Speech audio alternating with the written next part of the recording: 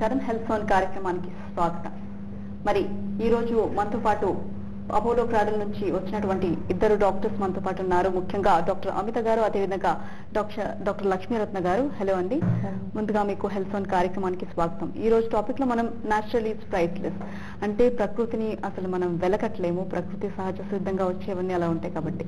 మరి ఈ రోజు మనం ఈ టాపిక్లో వచ్చేసి మీరు ముఖ్యంగా మనం సహజ సిద్ధంగా జరిగే న్యాచురల్ డెలివరీస్ గురించి అదేవిధంగా బేబీ కేరింగ్ పిండంలో కేరింగ్ ఏ విధంగా ఉండాలనేది మనం మాట్లాడుకోకపోతున్నాం కాబట్టి ముందుగా రత్న గారు మీరు చెప్పండి.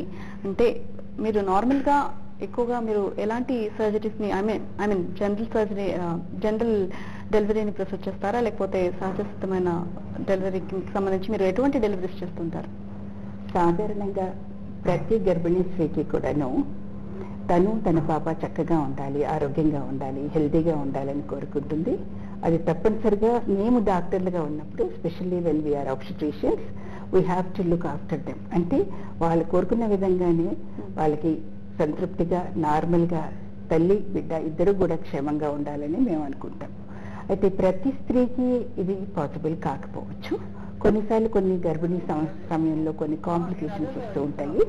ఈ కాంప్లికేషన్స్ వల్ల వాళ్ళకి natural child birth is priceless ఈ న్యాచురల్ చైల్డ్ బర్త్ అనేది ఈ జనరేషన్లో చాలా తగ్గిపోతుంది. ఎన్నో కారణాలు ఉన్నాయి దానికి. కానీ ఇంతకు ముందు న్యాచురల్ చైల్డ్ బర్త్ తప్ప సిజేరియన్ అనేది చాలా అన్యూజువల్ చాలా రేర్గా జరుగుతుంది. కానీ almost for the last thirty years we are saying that caesarean section rate ఎక్కువ ఉంటుంది కాబట్టి మనం ఈ రోజు ఈ పొజిషన్లో ఉండి మనం డిస్కస్ చేసుకోవాల్సి వచ్చింది న్యాచురల్ ఈజ్ అని. కానీ మళ్ళీ చరిత్ర మళ్ళీ తిరగ రాయబడుతుంది. ఇప్పుడు now days now everybody wants natural child birth కానీ ప్రతి స్త్రీ కోరుకుంటున్నా తప్పు లేదు. కానీ డాక్టర్లుగా మేము ఉన్నప్పుడు వాళ్ళకి చెకప్స్ చేసినప్పుడు కొన్ని కొన్ని పరిస్థితుల వల్ల కొన్ని కొన్ని కాంప్లికేషన్స్ వల్ల ఈ గర్భధారణ సమయంలో కొన్ని కొన్ని ప్రాబ్లమ్స్ వల్ల వాళ్ళకి నార్మల్ డెలివరీ జరగకపోవచ్చు. కానీ నైంటీ ఫైవ్ పర్సెంట్ వాళ్ళకి న్యాచురల్గా అయ్యే అవకాశం ఉంది. ఈవెన్ సమ్ టైమ్స్ వాళ్ళకి కొన్ని కొన్ని కాంప్లికేషన్స్ ఉంటే మేము కొన్ని సరి చేస్తాము. ఇప్పుడు నాలుగో నెలలో ఐదో నెలలో ఆరో నెలలో కొన్ని ప్రాబ్లమ్స్ ఉండొచ్చు. దాన్ని సరి చేసి కూడా మేము న్యాచురల్ డెలివరీ కోసమే నేను ప్రిఫర్ చేస్తానమ్మా ఓకే డాక్టర్ అమిత గారు మరి చెప్పండి. అంటే మీరు ఎక్కువగా ఫీటల్ మెడిసిన్కి సంబంధించి ఎక్స్పర్ట్ కాబట్టి అసలు ఫీటల్ మెడిసిన్ ఫీటల్ మెడిసిన్ అంటే ఏంటి? కాస్త క్లియర్గా ఫీటల్ మెడిసిన్ అంటే మనం గర్భ గ- గర్భసంచిలో ఉన్న పిండంని చూసుకుంటున్నాము. ప్రైమరీ ఒక ప్రెగ్నెన్సీ అంటే అందరికీ ఆ ఫోకస్ ఆ బేబీ బాగుండాలి క్షేమంగా ఉండాలి. పుట్టిన తర్వాత ఫస్ట్ క్వశ్చన్ ఏముంటది? బేబీది వెయిట్ ఎంత ఉంది? బేబీ బాగుందా? అదే ఫస్ట్ క్వశ్చన్ అదే ప్రయారిటీ ఉంటుంది. దానికి ఫీటల్ మెడిసిన్ అనేది ఒక సూపర్ స్పెషాలిటీ ఆ బేబీకి ఫుల్ అటెన్షన్ ఇస్తాము. ఆ బేబీ స్ట్రక్చరల్ చేతులు కాళ్ళు హార్ట్ బ్రెయిన్ అన్ని నార్మల్గా ఫామ్ అయిందా? బేబీ కడుపులో ఉన్నప్పుడు నార్మల్గా పెరుగుతుందా? బేబీకి ఆహారం అది అన్ని అందుతుందా? బేబీది ఆక్సిజన్ లెవెల్స్ నార్మల్ ఉందా? ఏదైనా ప్రాబ్లం అప్పుడు చూసేటప్పుడు ఫైవ్ మంత్స్లో లేదంటే సిక్స్ మంత్స్లో చూసేటప్పుడు ఏదైనా ప్రాబ్లం ఉందా? ఉంటే అది ఎట్లా కరెక్ట్ చేయొచ్చు? ఆ బేబీకి ఏదైనా కడుపులో ఉన్నప్పుడు ఏదైనా సర్జరీ చేయొచ్చా? లేదు ఈ బేబీకి ఏదైనా బ్లడ్ సప్లై ప్రాబ్లం అట్లాంటి ఏదైనా ప్రాబ్లమ్స్ ఉంటే బేబీ సీరియస్ కాకపోకుండా దానికి ముందే ప్లాన్ చేసుకొని అందరు ఫుల్ టీమ్ సపోర్ట్ తోని డెలివరీ చేయొచ్చు. అవి అన్ని అటెన్షన్ ఇస్తాము.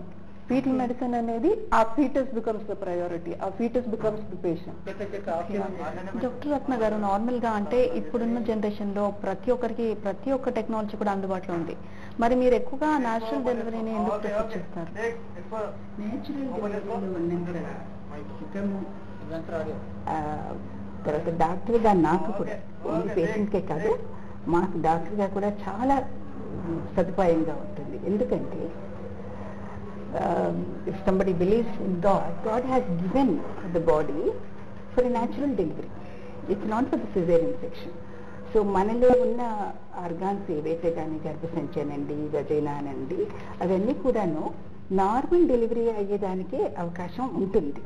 కాకపోతే కొన్నిసార్లు గర్భిణీ స్త్రీలకి హై బ్లడ్ ప్రెషర్ రావటం కానీ లేదా డయాబెటీస్ కాంప్లికేషన్ కానీ లేదా ఇప్పుడు అమిత గారు చెప్పినట్టుగా బేబీ పిండం పెరగకపోకుండా దానికి బ్లడ్ సప్లై సరిగ్గా అందనప్పుడు మనం కంటిన్యూషన్ చేయలేము నార్మల్ డెలివరీ కోసము. మధ్యలోనే వాళ్ళకి సిజేరియన్ సెక్షన్ చేయాల్సి రావాల్సి వస్తుంది.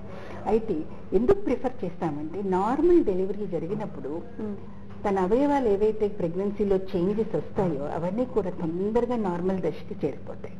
ఈ గర్భసంచి చక్కగా పెయిన్స్ తీసుకుని కంట్రాక్షన్స్ అయ్యి డెలివరీ అయిపోగానే వెంటనే అంటే ఇమీడియట్గా కొన్ని రోజులు నార్మల్ దశకి చేరిపోతుంది. అంతేకాదు గర్భిణీ చక్కగా ఫ్యూ అవర్స్లో లేచి నిల్చుని తన పనులు తను చేసుకోవచ్చు. తన బిడ్డ అవసరాలన్నీ చూసుకోవచ్చు. చక్కగా ఫీడ్ చేయొచ్చు. అదే సిజేరియన్ అయిందనుకోండి కుట్లలో నొప్పి ఉంటుంది. ఎనస్థీషియా మందుల వల్ల ఎఫెక్ట్ ఇంకా ఉంటుంది. సో వెంటనే లెగ్గటం తన పనులు తను చేసుకోవటం ఒక మినిమం ఇరవై నాలుగు గంటల నుంచి నలభై ఎనిమిది గంటల వరకు తను ఉండదు. ఎస్పెషల్లీ బేబీస్ పుట్టగానే వాళ్ళకి న్యాచురల్ రిఫ్లెక్స్ ఉంటుంది పాలు తీసుకునేది. అంటే మనం ఇమీడియట్గా బేబీ డెలివరీ అవ్వగానే చైల్డ్ డెవలప్మెంట్ కోసం. వెంటనే మనం బ్రెస్ట్ మిల్క్ ఇవ్వటానికి. మిల్క్ రాకపోవచ్చు రావచ్చు. కానీ బ్రెస్ట్ దగ్గర పెట్టడం బేబీని బేబీని సక్ చేపించడం వల్ల మదర్ బాండ్ రిలేషనే కాకుండా తనలో కొన్ని అవసరమైనటువంటి హార్మోన్స్ రిలీజ్ అయ్యి తన బాడీ చక్కగా నార్మల్ దశ చేరుకోవడానికి వస్తుంది. ఇది న్యాచురల్ చైల్డ్ బర్త్ అయితే ఈజీగా తను ఇవ్వగలుగుతుంది. అదే సిజేరియన్ అనుకోండి డిఫికల్ట్ డెలివరీస్ అన్నప్పుడు ఈ సిజేరియన్ కుట్ల వల్ల కూడా వెంటనే బేబీని తీసుకోవడానికి ఇబ్బంది పడతారు. ఓకే. అంటే నార్మల్గా జనరల్ డెలివరీ అవడానికి సంబంధించి అంటే కండిషన్స్ అనేవి ఏ విధంగా ఉంటే జనరల్ డెలివరీ ప్రతి స్త్రీకి నార్మల్ డెలివరీ అవ్వచ్చు. కొన్ని కండిషన్ వల్ల మనం సిజేరియన్ చేయవలసి రావటం అంటే. సిజేరియన్కి దారి తీసే కండిషన్స్ ఏంటి అంటే నేను ఇందాక? చెప్పినట్టుగా హై బ్లడ్ ప్రెషర్ కానీ అమ్మా. లేదా డయాబెటీస్ అవ్వచ్చు లేదా బేబీలో ప్రాబ్లం అవ్వచ్చు గ్రోత్ సరిగ్గా ఉండకపోవచ్చు. ఈ కండిషన్స్లో మేము తప్పనిసరిగా కొన్నిసార్లు ఆల్రెడీ మన దగ్గరికి వచ్చే టైంకి మొదటి ప్రెగ్నెన్సీ వారికి సిజేరియన్ అయి ఉండొచ్చు. ప్రీవియస్ సిజేరియన్ సెక్షన్ అంటాం. Hmm. అలాంటప్పుడు మొదటిసారి ఆపరేషన్ అయిన కుట్లు ఎంత సహజంగా హీల్ అయినాయి? అది ఎంత చక్కగా నార్మల్గా అయినాయా లేదా? కొన్నిసార్లు కొన్ని పరిస్థితుల్లో ఆ మొదటి ఆపరేషన్ అప్పుడు సిజేరియన్ అప్పుడు వేసిన కుట్లు సరిగ్గా ఉండవు. అవి పలచి పడిపోతాయి అలా పలచి పడినప్పుడు మనం అవి గమనించుకోకుండా కుట్లు నార్మల్ డెలివరీ ఇస్తే ఆ పెయిన్స్ అప్పుడు ఆ కుట్లు విచ్చుకుపోతాయి. అలా విచ్చిపోయినప్పుడు ఏమవుతుంది? గర్భసంచిలో ఉన్న పిండానికి చాలా డేంజర్ అవుతుంది. ఒక్కొక్కసారి బిడ్డ చనిపోవటం కూడా జరుగుతుంది. అందుకు నా కుట్లు పలచగా ఉండి తగినంత స్ట్రెంగ్త్ లేకపోతే వాళ్ళకి తప్పనిసరిగా మలేరియన్ సెక్షన్ ముందే చేయవలసి వస్తుంది అనమాట వాళ్ళకి నార్మల్ డెలివరీ కానీ ప్రతి ఒక్క స్త్రీ ఎవరికైతే ముందు సిజేరియన్ అయిందో ప్రతి ఒక్కళ్ళు మళ్ళీ సిజేరియన్కి వెళ్ళాలని మాత్రం లేదు. నేను చాలా సార్లు ఈ కొన్ని ఫ్యాక్టర్లు మనం గమనించుకోవాలి. కొన్ని పరిస్థితులు చూసుకోవాలి ఎలా ఉన్నాయనేది చూసుకుని వాళ్ళకి కూడా నార్మల్ డెలివరీ ఇవ్వగలగచ్చు మనం. మేడం ఇప్పుడు చెప్తున్నారు కదా. సిజేరియన్ కుట్లు గురించి. అది యాక్చువల్లీ ఆ పేషెంట్ ఫిఫ్త్ మంత్లో స్కాన్కి వచ్చేటప్పుడు. ప్రతి ఒక్కరు ప్రీవియస్ అది సిజేరియన్ అంటే ప్రతి ఒక్కరికి ఆ స్కార్ అంటాము. ఆ ప్రీవియస్ స్కార్ అది. చెక్ చేస్తాం. అది అప్పుడే మాకు తెలుస్తుంది. అది తిన్నుందా లేదా ఏదైనా రిస్క్ ఉందని అప్పుడే తెలుస్తుంది. సో ఇన్ కేస్ అది కొంచెం పల్చగా కనిపిస్తుంది అట్లా ఏదైనా ఉంటే ఆ పేషెంట్ కొంచెం కేర్ఫుల్ మానిటరింగ్ ఉంటుంది. మళ్ళీ ఆ డెలివరీ తక్కువ వచ్చేటప్పుడు మళ్ళీ అది అసెస్ చేస్తాం మళ్ళీ అసెస్ చేసి ఇది రిస్క్ తీసుకోవచ్చా? వీళ్ళు ఆ యూట్రస్ ఆ లేబర్ పెయిన్ తట్టుకుంటుందా అదని జడ్జ్ చేసి పేషెంట్ సెలెక్ట్ చేసి డాక్టర్ గారు మరి మీరు చెప్పండి అంటే ఎక్కువగా చాలా మంది అంటే ఫీటల్ మెడిసిన్కి సంబంధించి ఎక్కువగా కన్సల్ట్ అవ్వాలని చూస్తుంటారు. ఎందుకనేసి రీజన్ ఉందా దానికి సంబంధించి? ఇప్పుడు ఫీటల్ మెడిసిన్ అనేది నేను చెప్పినట్లు the baby becomes the first attention so అప్పుడు బేబీ ఫస్ట్ అటెన్షన్ ఉంటే బేబీ ప్రతి ఒక్క స్ట్రక్చర్ ప్రతి ఒక్క డీటెయిల్ అన్ని చెక్ చేస్తాము. ఇప్పుడు జనరల్గా బయట స్కాన్ చేసుకుంటారు అంటే ఏం చేస్తారు? బేబీది మెజర్మెంట్స్ చూస్తారు బేబీది హార్ట్ బీట్ చూస్తారు పంపించేస్తారు. అట్లా కాకుండా బేబీది ఒక్కొక్క ఆర్గన్ సరిగా ఫంక్షన్ అవుతుందా? ఎగ్జాక్ట్ మెజర్మెంట్స్ ఉంటుందా? ఉంటుందా? బేబీది ఎన్వైర్న్మెంట్ దట్ ఇస్ బేబీ చుట్టూ ఉన్న ఉమ్మ నీరు బేబీకి పోయిన బ్లడ్ సప్లై బేబీ లోపల బ్లడ్ సప్లై నార్మల్గా అందుతుందా? ప్రతి ఒక్క డీటెయిల్ చూస్తాము. ప్లస్ ఇప్పుడు మన ఇప్పుడు ప్రెసెంట్ జనరేషన్లో డయాబెటీస్ అట్లాంటి కాంప్లికేషన్స్ చాలా పెరిగిపోయింది. డయాబెటీస్ హైపర్ టెన్షన్ ఇప్పుడు మన ఐవీఎఫ్ ప్రెగ్నెన్సీస్ కూడా చాలా చూస్తున్నాం.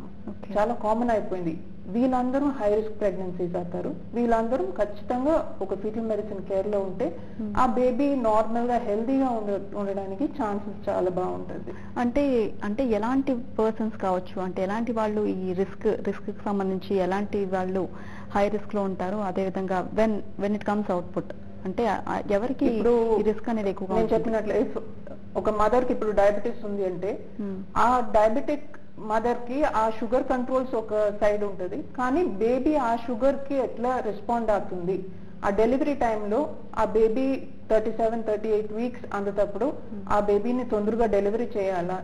డెలివరీ తర్వాత ఈ బేబీకి ఏదైనా ఆ షుగర్ వల్ల కాంప్లికే కాంప్లికేషన్స్ పుట్టిన తర్వాత ఉంటుందా? అవి అన్ని అసెస్ చేయొచ్చు. Okay. హై బీపీ ఉన్న పేషెంట్స్ వాళ్ళకి బేబీకి గ్రోత్ ప్రాబ్లమ్స్ రావచ్చు. మ్మ్. And especially IVF patients twins ఉంటారు. ట్విన్స్లో చాలా రకాలు ఉంటాయి ఆ ట్విన్స్లో మోనోకోరియానిక్ ట్విన్స్ అట్లాంటి కాంప్లికేషన్స్ ఉంటే మనం అవి అన్ని కరెక్ట్ చేయొచ్చు అవి అన్ని మేనేజ్ చేయొచ్చు improve. So naturally outcomes at least take home baby rate అంటాము మ్మ్.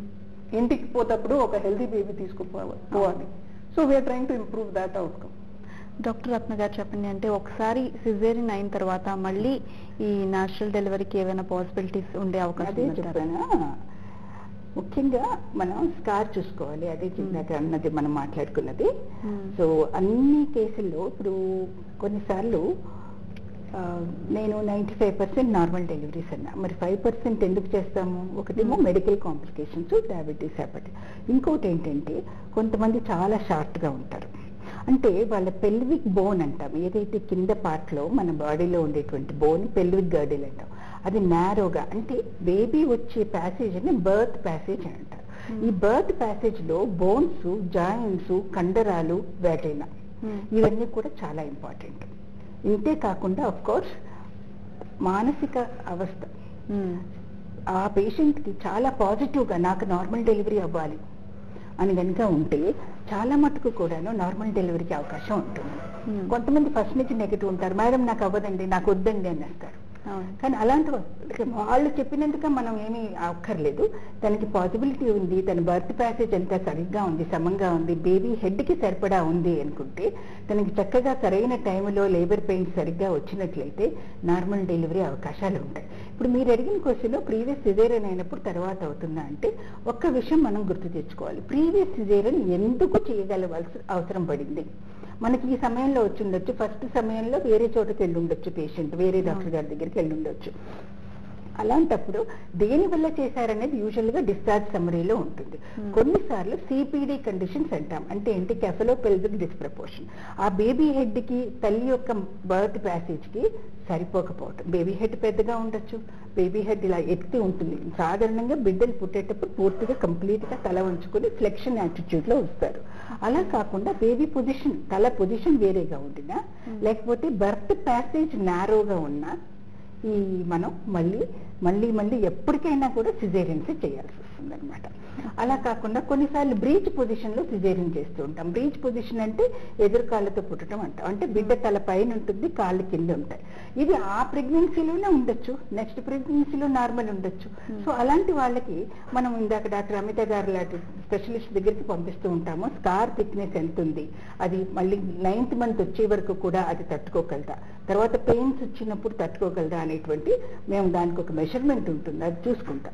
అది చూసుకుంటే వాళ్ళని ముందు నుంచి ప్రిపేర్ చేస్తాం. అమ్మా నీకు ఫిఫ్టీ పర్సెంట్ అవకాశాలు ఉన్నాయి. లేదా నీకు అసలు అవకాశం లేదు. నీకు సిజేరియనే చేయాలి అనేటువంటి చేస్తాం. కాబట్టి బర్త్ ఎందుకు చేశారు? ఫస్ట్ సిజేరియన్ అనేది చాలా ఇంపార్టెంట్ Okay. అది రికరింగ్ కండిషన్స్ వల్ల అయితే తప్పకుండా మనం మళ్ళీ సిజేరియనే అవుతుంది. నాన్ రికరింగ్ కండిషన్స్ అంటాం. అలాంటప్పుడు మనం నార్మల్ డెలివరీకి తీసుకోవచ్చు. ఓకే డాక్టర్ గారు. ఫస్ట్ కాల్ సిద్ధంగా ఉన్నారండి. తరంగిణి గారు వైజాగ్ నుంచి. తరంగిణి గారు డాక్టర్ సిద్ధర్ ఉన్నారండి. మాట్లాడండి.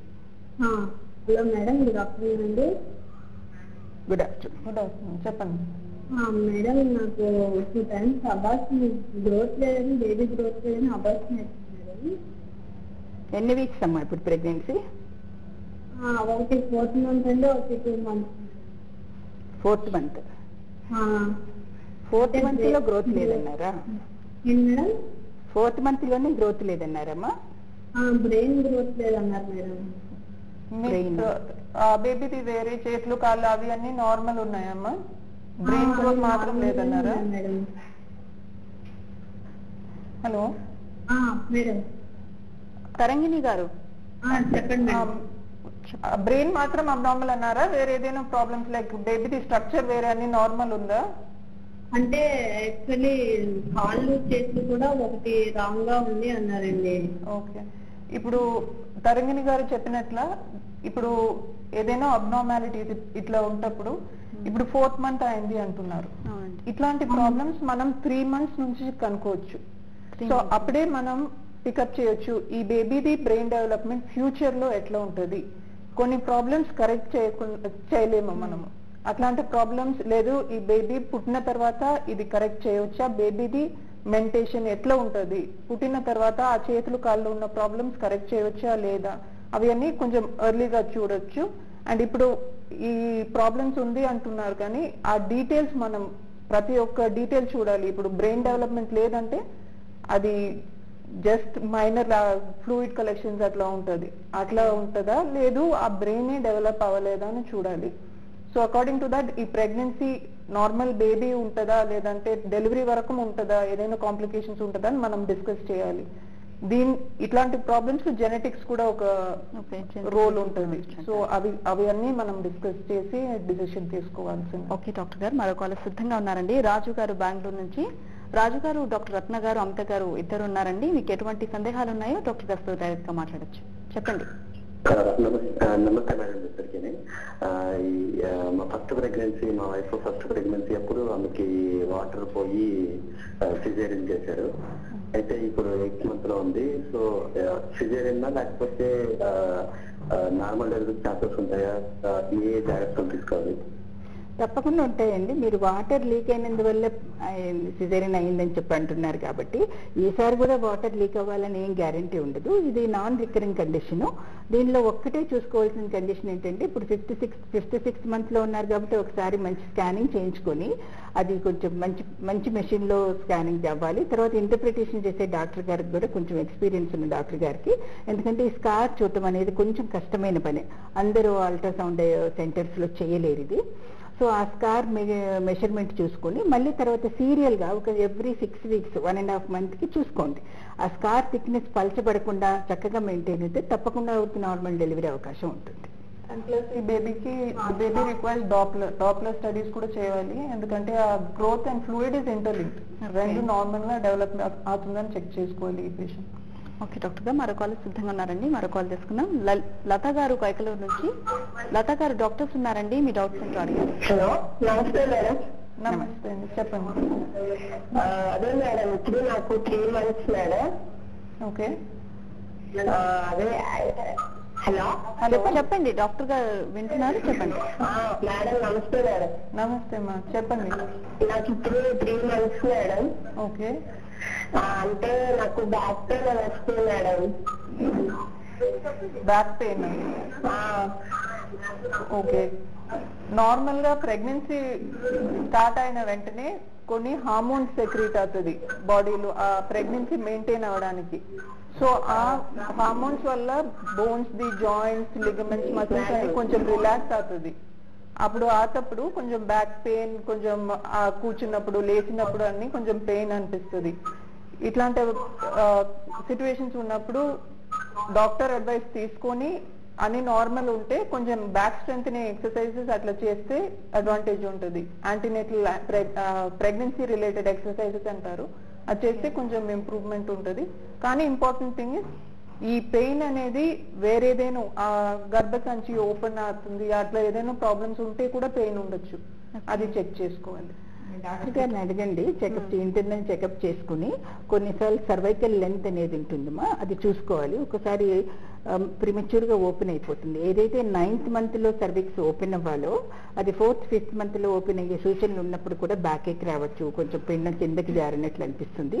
సో ఒకసారి ఇంటర్నల్ తరోగా చెకప్ చేయించుకోండి. తర్వాత స్కానింగ్ కూడా చేసుకుని గర్భిణీకి సంబంధించి లేకపోతే మీరు మసిల్ పెయిన్స్కి వాటికి ఏదైనా మీరు సింపుల్గా పారాసెటమాల్ టాబ్లెట్స్ లాంటివి వేసుకోవచ్చు. కానీ ముందుగా గర్భిణీకి సంబంధించి ఏం కాంప్లికేషన్ లేదు కదా అని తెలుసుకోవాలి. ఓకే డాక్టర్ గారు మరో కాల్ సిద్ధంగా ఉన్నారండి. శ్రీలత గారు ఖమ్మం నుంచి. శ్రీలత గారు డాక్టర్ రత్న గారు అమిత గారు ఉన్నారండి. మీకు ప్రెగ్నెన్సీకి సంబంధించి ఎటువంటి డౌట్స్ ఉన్నా వాళ్ళతో మాట్లాడొచ్చు. Good afternoon madam good afternoon madam నాకు ఇది జీటు మేడం ఫస్ట్ ఒకటి అబార్షన్ అయింది madam sixth month okay fifth మంత్లో ఫిఫ్త్ మంత్లో అబార్షన్ ఏదైనా ప్రాబ్లం ఉందా మేడం ప్రాబ్లం ఉంది? మేడం ఫీటల్ అనామలీ ఉండే ఓకే ఏం anomaly ఉందండి? లో లైన్ ఉందని చెప్పారు madam. Two point five centimetres ఉంది. ఏముంది చెప్పండి. లో లైన్ ప్లసెంటా ఉందని చెప్పారు మేడం. ఇప్పుడు lying pregnancy placenta. Madam. Eighth month madam okay. Low lying placenta ఉంది? టూ పాయింట్ ఫైవ్ సెంటీమీటర్స్ ఉంది. హాస్టల్ అని చెప్పారు మేడం. ఓకే. ఇప్పుడు లో లయింగ్ ప్లసెంటా అనేది ఆ మాయ అంటాం కదా ఆ మాయ పైన కాకుండా కింద గర్భసంచి అందరం దగ్గర ఉన్నప్పుడు లో లయింగ్ ప్లసెంటా అంటారు. Actually two point five centimetres అనేది it is a cut off two point five centimetres కన్నా తక్కువ ఉంటే we call it low lying two point five centimetres and two point five centimetres above మనం low lying అని చెప్పాము plus ఇది డెలివరీకి ముందు ఒకసారి అసెస్ చేయాలి. ఎందుకంటే ఆ లో లైన్ ప్లసెంటా అనేది డెలివరీ అప్పుడు బ్లీడ్ అవడానికి ఛాన్సెస్ ఉన్నాయి కానీ ఇప్పుడు చెక్ చేస్తే కూడా ఫైనల్ ఒకసారి డెలివరీ అప్పుడు చెక్ చేసుకోండి. అప్పుడు కింద లేదు టూ పాయింట్ ఫైవ్ సెంటీమీటర్స్ కన్నా ఎక్కువ డిస్టెన్స్ ఉంది అంటే మీరు నార్మల్కి ట్రై చేయొచ్చు. ఇప్పుడు నార్మల్ అయ్యే ఛాన్సెస్ ఉంటాయా మేడం? ఇప్పుడు మీకు ఇంకా ఫిఫ్త్ మంత్ కదమ్మా. ఇంకా four months. Eighth month. Okay. So ఎప్పుడు మిగతావి కండిషన్స్ అన్ని నార్మల్ ఉంటాయి that is the passenger the passage and the powers అన్ని నార్మల్ ఉంటే మీరు ఖచ్చితంగా నార్మల్ డెలివరీ ఎక్స్పెక్ట్ చేయొచ్చు. Okay madam thank you madam ఓకేనండి థ్యాంక్ యూ అండి. శ్రీలత గారు కాల్ చేసినందుకు మరో కాలర్ సిద్ధంగా ఉన్నారండి. కోటేశ్వరరావు గారు గుంటూరు నుంచి. కోటేశ్వరరావు గారు డాక్టర్స్ ఉన్నారండి. మీకు ఎటువంటి సందేహాలు ఉన్నా మాట్లాడొచ్చు. మా- మేడం డాక్టర్ గారు? నమస్తే అండి. చెప్పండి. మేడం మా వైఫ్కి ట్వెల్వ్ వీక్స్ అప్పుడు స్కానింగ్ చేయించా మేడం. ఓకే. స్కానింగ్లో ఏంటంటే బిడ్డ సరిగా లేదు స్పైన్ బయట ఉంది. Okay. సరిగా లేదు పొట్టలో పేగులు బయట ఉన్నాయి. ఓకే. అబార్షన్ చేయించుకోండి అని చెప్పారు. ఓకే. అబార్షన్ కూడా చేయించాము. ఓకే. అంటే ఇట్లా ఎందుకు వస్తాయి మేడం? పిండం ఎదుగుదల లేకపోవడం కానీ. ఓకే. ఇప్పుడు మీరు చెప్పిన అనామలీస్ దాని ప్రకారం see there are two types ఒకటి జెనెటిక్ కండిషన్స్ ఉండొచ్చు ఒక టైప్ జెనెటిక్స్ కండిషన్స్ కాకుండా బై ఛాన్స్ కావచ్చు. అయితే ఏం కాదు మేడం. అది మీకు ఉండాలి అని అవసరం లేదు. కానీ మోస్ట్లీ అది సరిగా ఇన్వెస్టిగేట్ చేసి ఆ జెనెటిక్ ప్రాబ్లమ్స్ లేదు అట్లా అంటే మీరు next time normal baby development expect చేయొచ్చు. కానీ ప్రెగ్నెన్సీకి త్రీ మంత్స్ ముందు నుంచి మీరు ఫోలిక్ యాసిడ్ ఖచ్చితంగా వాడాలి. ఎందుకంటే spine problems folic acid deficiency వల్ల కూడా కావచ్చు. వాటి మీరు అంటే అప్పుడు బేబీకి జెనెటిక్ టెస్ట్ ఏమైనా చేశారండి? డెలివరీ అయినాక ఆ బేబీకి? ఆహా, ఏం లేదు చేయలేదు మేడం.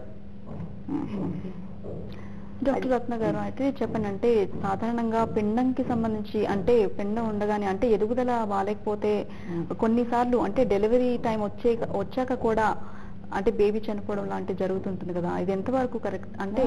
ఎంత పర్సంటేజ్లో ఇలా జరుగుతుందంటారు? అసలు రీజన్ ఏంటి మెయిన్ బేబీకి ప్లాసెంటా దగ్గర నుంచి బ్లడ్ సప్లై అందాలమ్మా బేబీ పిండం ఎప్పుడైతే ఏర్పడుతుందో డే వన్ నుంచి కూడాను ఈ బ్లడ్ సప్లై అనేది ఇంపార్టెంట్. ఎక్కడి నుంచి వస్తుంది? గర్భసంచి లోపల పిండం పార్ట్ ఒకటిలో తల్లి పార్ట్ కలిసి ఏర్పడేదే ప్లాసెంటా అని అంటాం.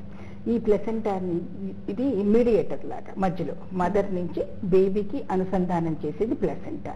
ఈ ప్లసెంటా నుంచి బ్లడ్ ఎక్స్చేంజ్ అయ్యి అంబలేకల్ కార్డ్ నుంచి బేబీకి అందుతుంది. ఇలా అని ఒక్కొక్కసారి ప్లాసెంటా సరిగ్గా డెవలప్ అవ్వదు. చిన్నగా ఉండొచ్చు. లేదా సెవెంత్ మంత్ వరకు దాని పని అయిపోవచ్చు. సరిగ్గా పంప్ చేయకపోవచ్చు బ్లడ్ అలాంటప్పుడు బేబీకి మొత్తం న్యూట్రిషన్ కానీ ఆక్సిజన్ కానీ ఈ ప్లాసెంటల్ బ్లడ్ సప్లై వల్ల వస్తుంది. సో ఈ ప్లాసెంటా సరిగ్గా లేదు చిన్నగా ఉంది లేదా సరిగ్గా ఫంక్షన్ చేయట్లేదు దాని నుంచి సరఫరా సరిగ్గా అవ్వట్లేదు అనుకున్నప్పుడు తప్పకుండా బేబీ గ్రోత్ మీద ఎఫెక్ట్ అవుతుంది. ఒక కారణం బేబీ మదర్కి ఉండే బ్లడ్ ప్రెషర్ వల్ల అవ్వచ్చు డయాబెటీస్ వల్ల బ్లడ్ రక్తనాళాల్లో జరిగే చేంజెస్ వల్ల అవ్వచ్చు లేదా సహజంగా ఇడియోపతిక్ ప్లాసెంటల్ ఇన్సఫిషియన్సీ అని ప్లాసెంటాలోనే లోపం ఉండొచ్చు ప్లాసెంటాలో ఉండే రక్తనాళాలు సరిగ్గా డెవలప్ అవ్వచ్చు దానిలో థ్రోంబోసిస్ అవ్వచ్చు. అందుకని ఈ కారణాల వల్ల బ్లడ్ సప్లై అందక బేబీ లోపలనే చనిపోవడం జరుగుతూ ఉంటుంది. స్పెషల్లీ డయాబెటీస్లో సైలెంట్గా ఇంట్రాయిట్రెన్ డెత్ అంటాం. అంటే బేబీ కదలికలు ఆగిపోతాయి. ఎందుకంటే ఈ చేంజెస్ జరగటమే కాకుండా మదర్ సరిగ్గా కనుక తన షుగర్ని కంట్రోల్ చేసుకోలేనప్పుడు బ్లడ్ షుగర్స్ ఫ్లక్చుయేట్ అవుతాయి. Hmm. బాగా సడన్గా పడిపోవటం సడన్గా ఎక్కువ అవటం వల్ల కూడా బేబీకి సడన్ డెత్లు అవుతాయి. అంతేకాకుండా అన్ని నార్మల్గా ఉన్నప్పుడు కూడాను ఒక్కొక్కసారి అంబలేకల్ కార్డ్ అనేది బేబీ మెడ చుట్టూ గట్టిగా టైట్గా వేసుకుని ఉంటే ఒక్కొక్కసారి దాని వల్ల కూడా రక్తం సరఫరా ఆగిపోతుంది. కార్డ్ అరౌండ్ ద నెక్ అంటాం. సాధారణంగా జరగాలని లేదు కానీ నా ఎక్స్పీరియన్స్లో నేను six times cord around the neck చూశాను. అంటే ఆరు సార్లు చుట్టుకునే ఉంది మెడ చుట్టూను. సో ఇలాంటప్పుడు ఏ లోపన్నా కూడా ఒకటి టైట్గా అయినప్పుడు అదేమవుతుంది? ఆల్మోస్ట్ ఉరి పడినట్లుగా అయిపోయి బేబీకి శ్వాస తీసుకోవటానికి కానీ ఆ బ్లడ్ కూడా సప్లై అవ్వదు. అలాగే ఒక్కొక్కసారి అంబలేకల్ కార్డులో ముళ్ళు పడుతూ ఉంటాయి నాట్లు లేదా అంబలేకల్ కార్డులోనే కొన్నిసార్లు అబ్నార్మాలిటీస్ ఉంటాయి. వీటి వల్ల రక్త సరఫరా బేబీకి అందదు. సో తల్లి లోపం ఉండకపోవచ్చు ఇలాంటప్పుడు. బేబీ మూమెంట్స్ అయినప్పుడు ఆటోమేటిక్గా బేబీ మెడ చుట్టూ వేసుకుంటుంది. అది మనం ఏమి చేయలేము మనం చెప్పలేము. కానీ కొంత మటుకు అల్ట్రాసౌండ్ స్కానింగ్లో కార్డ్ అరౌండ్ ద నెక్ ఉన్నది కనుక్కోవచ్చు. కానీ ఎంత టైట్ అవుతుంది అన్నది చెప్పడం కొంచెం కష్టం. అది కాక సాధారణంగా టైట్ అవుతుందా లేదా అనేది డెలివరీ టైంలోనే ఎప్పుడైతే డెలివరీ పెయిన్స్ వస్తాయో గర్భసంచి బేబీని పుష్ చేస్తుందో అప్పుడు ఆ టైట్నెస్ అయ్యేది ఉంటుంది. సో దీనికి మార్గం ఏంటంటే మేము కార్డియోటోకోగ్రామ్ అని బేబీ హార్ట్ బీట్ రికార్డ్ చేసుకుంటూ పోతాం త్రూ అవుట్ లేబర్. అలాంటప్పుడు బేబీకి గట్టిగా కాటు చుట్టుకుని ఉంటే హార్ట్ బీట్ తక్కువ అవటం అందులో కొన్ని వేరియేషన్స్ వస్తాయి. సో ఆ వేరియేషన్ బట్టి మనం ముందే గ్రహించుకుని బేబీని సిజేరియన్ ద్వారా డెలివరీ చేయవలసి వస్తుంది. అలాంటప్పుడు నార్మల్ డెలివరీ చేయడానికి అవకాశం ఉంటుంది. ఇట్లాంటి బేబీస్ ఇప్పుడు గ్రోత్ ప్రాబ్లమ్స్ ఉన్న అదే. వాళ్ళు ఆ ప్రాసెస్ ఆఫ్ లేబర్ తట్టుకోలేరు. ఆ గ్రోత్ ప్రాబ్లం ఉన్నప్పుడు ఎందుకు వస్తుంది బేబీది demand and mother the supply meet అవ్వదు. ఒక డిస్క్రిపెన్సీ ఉంటుంది. అందుకు బేబీకి adequate amount of blood supply oxygen అందకుండా ఉంటుంది. సో అట్లాంటి బేబీస్ మనం మళ్ళీ లేబర్లో if they going to labour అప్పుడు వాళ్ళు సఫర్ అవుతారు. అట్లా కాకుండా ఇట్లాంటి బేబీస్ మనం రెగ్యులర్గా ఇట్లా గ్రోత్ ప్రాబ్లమ్స్ ఐయుజిఆర్ అంటాం.